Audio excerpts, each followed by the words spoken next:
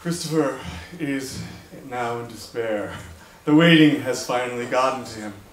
Living with Beatrice in a house the queen has supplied near the palace, but no ships, no voyage.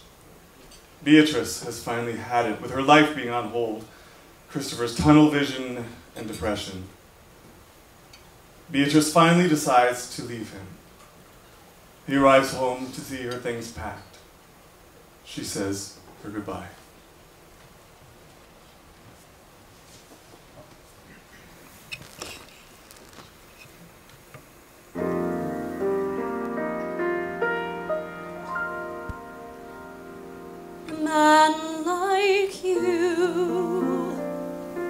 Solves great mysteries without a clue.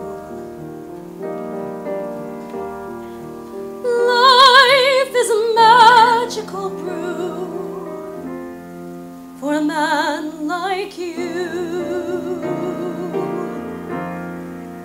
A man like you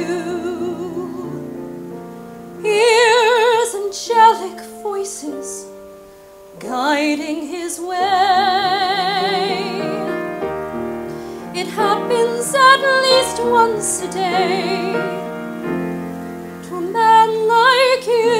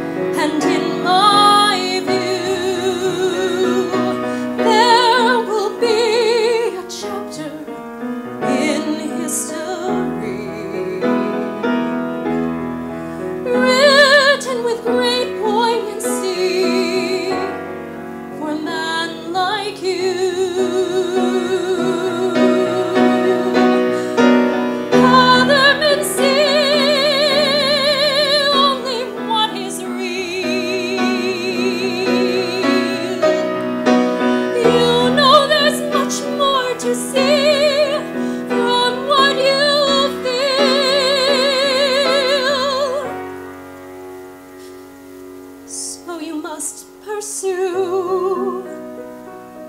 Mapping out your quest and following through.